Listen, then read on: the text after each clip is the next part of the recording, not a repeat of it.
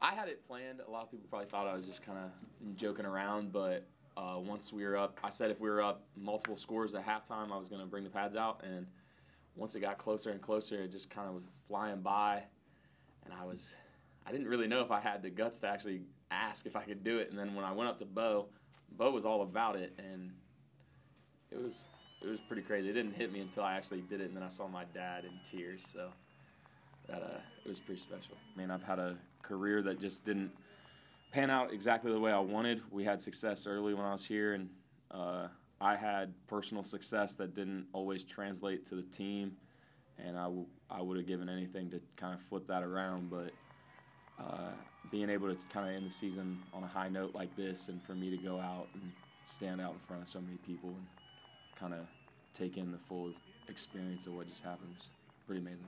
This will always be a second home for me. Uh, planning on staying around, sticking around for a year or two, maybe trying to work up here. Uh, but I love the experience of uh, the experiences I've had up here, the people I've met. I mean, I'll never be able to forget the times I've had up here.